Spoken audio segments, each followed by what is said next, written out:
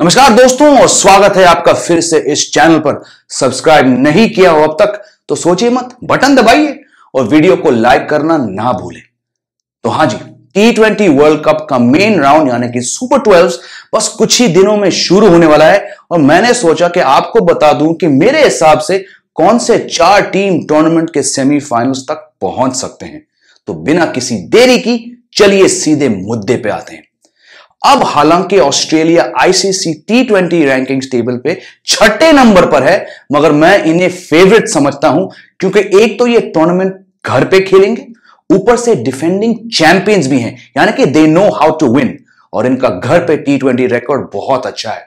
इनकी बॉलिंग अच्छी है despite the recent loss to England और बैटिंग में से एक दो प्रॉब्लम्स हटा के primarily Glenn Maxwell terrible form overall अच्छी बैटिंग है।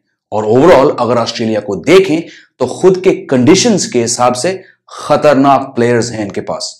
और फिर इस साल के सबसे सफल टी ट्वेंटी फिनिशर्स में से एक भी है Matthew Wade as well as one of the coolest heads and biggest six hitters in global T twenty league Tim David David Warner वापस फॉर्म में आ गए हैं, जो कि बाकी टीमों के लिए खतरे की निशानी है।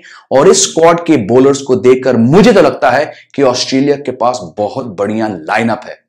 शायद सभी समझते हैं कि ऑस्ट्रेलिया के अंदर पेस बॉलर्स सबसे ज़्यादा विकेट लेते हैं, मगर मैं कहता हूँ दोस्तों कि इस वर्ल्ड कप में रिस्ट स्पिनर्स का योगदान काफ़ी होगा। तो इस लिहाज से एडम जैम्पा एक डेंजरस बॉलर है। और फिर क्योंकि ये वर्ल्ड कप एरन फिंच का आखिरी टूर्नामेंट है ऑस्ट्रेलिया के लिए तो टीम के पास इतने बड़े प्लेयर को अलविदा करने की खास वजह भी तो है। तो अगर आप मुझसे पूछेंगे तो Australia can definitely defend their title this time अगर इनसे अच्छी कोई टीम है तो मेरे हिसाब से वो है इंग्लैंड ये भी टी ट्वेंटी रैंकिंग्स पे दूसरे स्थान पे है, और जिस तरह से ये टीम अपनी ओडीआई और टी ट्वेंटी क्रिकेट खेलती है, ये इन्हें सारे टूर्नामेंट्स में टॉप की टीम बनाती है। इस फॉर्मेट के सबसे अच्छे ओपनर हैं इनके पास जॉस बटलर और गेम के सबसे लंबे छक्के मारने वाले बैट्समैन लियम लिविंगस्टन ऊपर से एलेक्स हेल्स हैं जो टी ट्वेंटी फॉर्मेट के सबसे सफल बल्लेबाजों में से हैं और हेल्स के पास ऑस्ट्रेलिया में बीबीएल खेलने का अनुभव भी है। एक बहुत ही स्किल ऑलराउंडर है इनके पास मोइंग अली बेन स्टोक्स जिनके बारे में क्या ही कहना। डाविड मलान फॉर्म में आए हैं, जो कि बहुत डेंजरस है सामने की टीम्स के लिए। फिर Chris Jordan David Willey Adil Rashid और रीस टॉपली जैसे एक्सपीरियंस बॉलर्स हैं। मार्क वुड का पेस और बाउंस सैम करन का ऑलराउंड टैलेंट और फिर हैरी ब्रुक जैसे युवा खिलाड़ी जो बड़ी लंबी गेंद टांगते हैं और एक बेहतरीन फील्डर भी हैं। तो ये रही बात दोस्तों सिर्फ़ टैलेंट की, मगर आप ये भी देखिए कि इंग्लैंड के कितने प्लेयर्स दुनिया के अलग टी ट्वेंटी लीग्स खेलते हैं, जिससे इतना एक्सपोजर मिलता है कि आप उस पर कोई मोल नहीं लगा सकते। इसलिए मेरे हिसाब से इंग्लैंड ही वो टीम है जो ऑस्ट्रेलिया को हराकर ये ट्रॉफी जीत सकती अब क्योंकि ग्रुप वन से दो ही टीम्स आगे जा सकती हैं तो न्यूजीलैंड मेरे लिए सेमीफाइनलिस्ट नहीं है, क्योंकि इस ग्रुप में ऑस्ट्रेलिया और इंग्लैंड है। मगर क्योंकि न्यूजीलैंड की टीमें हमेशा वर्ल्ड कप्स में टक्कर देती आए हैं तो अगर ये इन दो टीमों में से एक को बाहर कर दें तो फिर मैं इतना सरप्राइज़ नहीं रहूँगा। बट ग्रुप वन से मेरे टॉप टू टीम्स हैं ऑस्ट्रेलिया और सबसे स्ट्रॉन्गेस्ट टीम इंग्लैंड अब नज़र डालते हैं दूसरे ग्रुप पे, जिसमें से मुझे लगता है कि शायद पाकिस्तान फाइनल फोर तक पहुँचे। अगर जो इनके बॉलर्स ने उस लेवल का प्रदर्शन दिया, जो हम सब जानते हैं कि वो दे सकते हैं।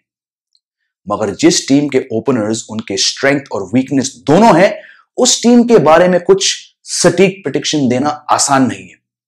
टी ट्वेंटी फॉर्मेट के top rank batsman Mohammad Rizwan और कप्तान बाबर आज़म इस टीम के बेस्ट बल्लेबाज हैं। मगर इनके बाद एक भी ऐसा खिलाड़ी नहीं है जो फॉर्म में है या जिसके पास ज़्यादा गेंदे खेलने का एक्सपीरियंस क्योंकि इतनी बार रिजवान और बाबर ने अच्छी पार्टनरशिप दी है इस टीम को और इतने ओवर्स एक साथ खेले हैं कि बाकी के बैट्समैन को ज़्यादा चांसेस नहीं मिले। और जब मिले हैं तो बहुत ही कम बैट्समैन ने कुछ खास कर दिखाया। कोई सेट नंबर थ्री नहीं है, कोई सेट नंबर फोर नहीं है। आसिफ अली एक समय पे टी ट्वेंटी फॉर्मेट के सबसे अच्छे फिनिशर्स में से एक थे, मगर वो भी फॉर्म खो चुके हैं। और जिस तरह से रिजवान और बाबर खेलते हैं, मेरे हिसाब से ये पाकिस्तान को 190 और उससे ऊपर के टोटल्स बनाने के चांसेस कम देते हैं।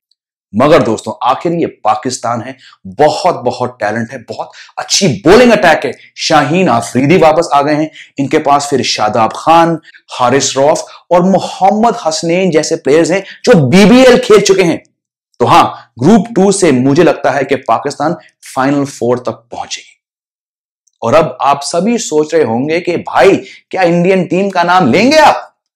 अब अगर वर्ल्ड कप फिक्चर्स और ग्रुपिंग को देखें तो इंडिया पाँच टीमों के साथ खेलेगी। अपने ग्रुप से पाकिस्तान साउथ अफ्रीका और बांग्लादेश फिर ग्रुप ए के रनर अप और ग्रुप बी के विनर से। अब परसों तक तो मुझे नो डाउट था कि ग्रुप ए का विनर श्रीलंका होगा। मगर नमीबिया से हारने के बाद, अभी यह कहना मुश्किल है कि दसों निशानेगा की टीम आगे जाएगी।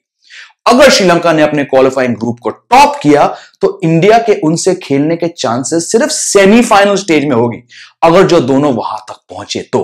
और अगर श्रीलंका वाकई में टॉप करती है अपनी ग्रुप तो मोस्ट लाइकली ये होगा कि इंडिया नमीबिया और वेस्ट इंडीज के साथ खेलेगी। और ग्रुप टू से आई थिंक इंडिया और पाकिस्तान ही आगे जाएँगे। रोहित शर्मा की टीम की बात करें तो ये बैटिंग में ज़बरदस्त हैं और बॉलिंग में बहुत कमज़ोर। अगर रोहित, राहुल, विराट सूर्य कुमार हार्दिक, दीपक हुडा, दिनेश कार्तिक और कोर्स ऋषभ पंत अपने काबिलियत से खेले तो ये टीम हर मैच में दोस्तों 200 बना सकती है। मगर जिस तरह से डेथ बॉलिंग में प्रॉब्लम्स हैं, ये टीम 201 रन भी दे सकती है आराम से। ये फ़िक्र है मुझे इस भारतीय टीम को लेकर।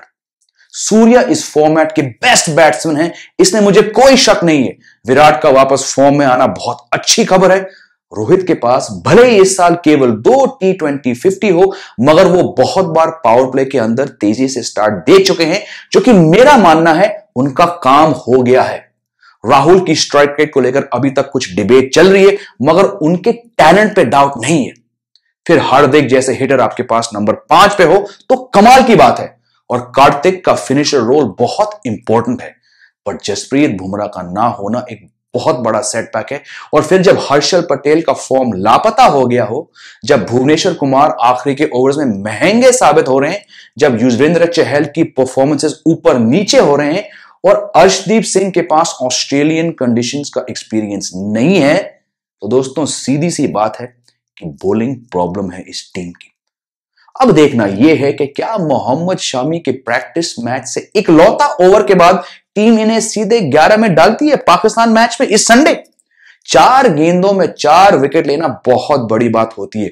और इंडिया ने आखिर वो प्रैक्टिस मैच जीता भी ऑस्ट्रेलिया के अगेंस्ट जहाँ एक समय लग रहा था कि हारेगी। मैच से पहले रोहित ने कहा कि हमें मालूम है कि बेस्ट इलेवन क्या है, पर जिस तरह का ओवर डाला शामी ने मैच जिताकर, अब शायद वो समय से पहले नज़र आएँगे वर्ल्ड कप में। हु नोस तो हाँ दोस्तों, अगर किसी तरह बॉलर्स ने अपना काम करना शुरू किया तो टैलेंट के बेसिस पे ये टीम कुछ कर दिखा सकती है वर्ल्ड कप में। बहुत बहुत बहुत इंपॉर्टेंट है कि भारतीय टीम बायलैटरल बुलीज का टैग हटाकर एक वर्ल्ड कप में परफॉर्म करे। क्योंकि नौ साल हो गए, किसी भी इंडियन टीम को एक आईसीसी ट्रॉफी जीते हुए। क्या रोहित की टीम टॉप फोर की टीम है? हाँ ज़रूर। मगर बॉलर्स को हर मैच में सामने की टीम के विकेट्स लेने पड़ेंगे। नहीं तो फाइनल फोर पहुँचना असंभव है। वट यू थिंक आपको क्या लगता है? कौन है वर्ल्ड कप फेवरेट्स कौन सी टीम्स हैं जो टॉप फोर बनेगी?